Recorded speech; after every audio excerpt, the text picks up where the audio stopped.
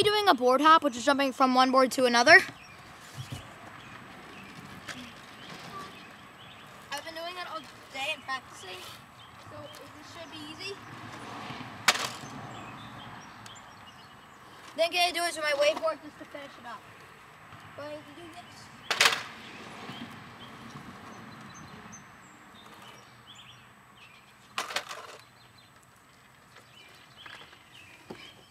Thanks for watching Hello Productions.